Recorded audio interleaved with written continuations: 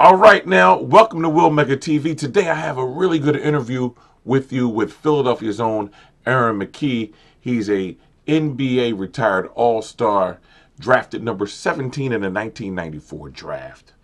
Coming out of Temple University, coached under legendary John Chaney, coming out of Gratz High School under legendary Coach Ellerbe, uh, drafted number 17 in the NBA first round by the Portland Trail Blazers. He's played for the Los Angeles Lakers.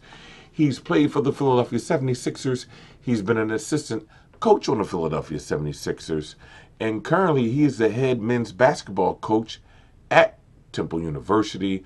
I'm talking about Philly's own Blue. And if you're part of the cookout, you know why we call them Blue.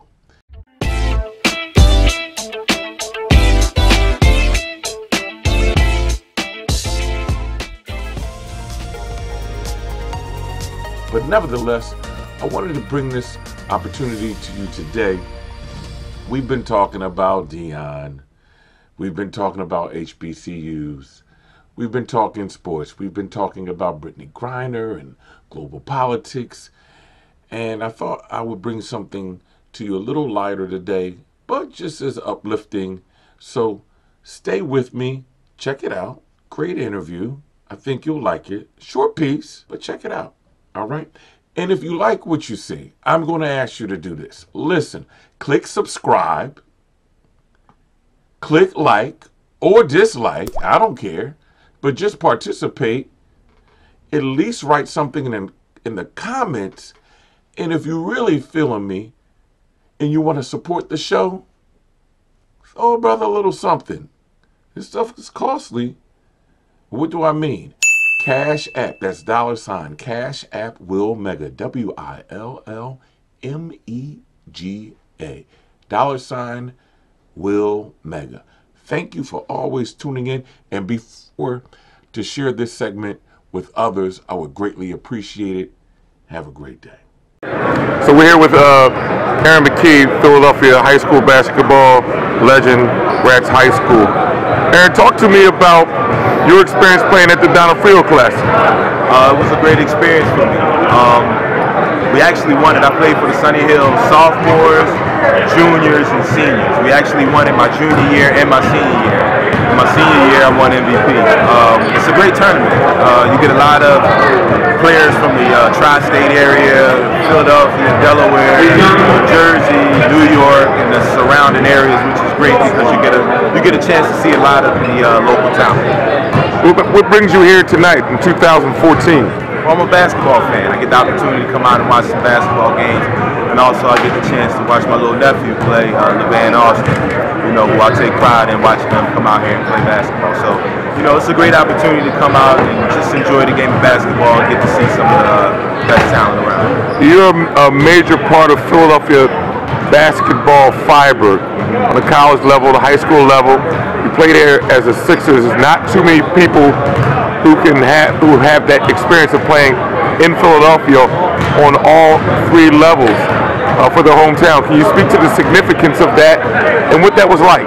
Well, it's a childhood dream come true. I mean, as you said, how many kids get the opportunity to play high school basketball here, play collegiate basketball here, and then get the opportunity to play professional basketball here. And also, I had the opportunity to coach here as an assistant coach for the 76ers. So it's a childhood dream uh, that came true, but it just goes to show that hard work and dedication definitely uh, pays off. So now you're doing some commentating, color comment, com commentating with Comcast rumor has it you you may be looking at doing some more coaching. How, how true is that? Yeah, that's my thing. I enjoy being involved in the game. I'm a I'm one of the grounds guys. I like to be down. I like to teach. I like to try to share some of the lessons that I that I got um, in my days of playing basketball with a lot of these young guys, and, hopefully I get the opportunity to do it again and, and, be able to help some of these young guys. So you played under some amazing coaches.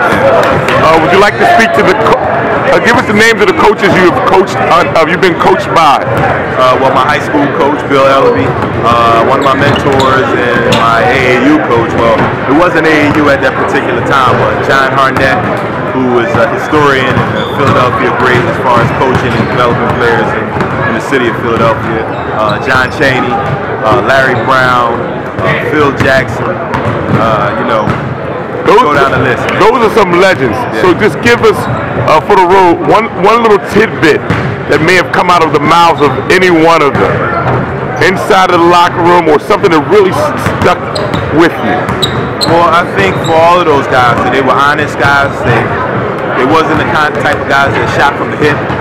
And if you worked hard, you always gave yourself a chance to play. And that was me. I was one of the guys that was willing to, you know, really work hard and open those guys' eyes up to uh, things that I could do or maybe help the team. And they gave me an opportunity to play. So I was grateful for that. Two last questions. One, who was the best high school basketball player in Philadelphia you played against? And two, what are your thoughts on Wilt Chamberlain? Wilt Chamberlain, uh, basketball is one of basketball's all-time greats. Uh, one of Philadelphia's all-time greats. Um, you know, there's the age-old debate with Wilt Chamberlain, Shaq, and Wilt played in this era, Shaq played that era. You can't argue uh, Wilt numbers. You look at his numbers. One year he led the NBA in assists. I mean, one year he aver- averaged the uh, triple-double. So you can't argue argue those numbers. You know, as far as. Uh, but you know, I got the opportunity to play against Doug Overton, Lionel Simmons, you know, a lot of the Philadelphia great, you know, basketball. When I think, in my opinion, when Philadelphia was at at its apex as far as uh, basketball. You, and, and, and I'm sorry, one more last question. This is the final last question. Philadelphia has this unique history about its the, the, the, the grittiness of its guards. You're a Philadelphia guard. How did that come about? Like, what is it about a Philadelphia guard? we get it. I think we, we, we enjoy sitting down playing defense. Uh, we enjoy being physical and touching guys.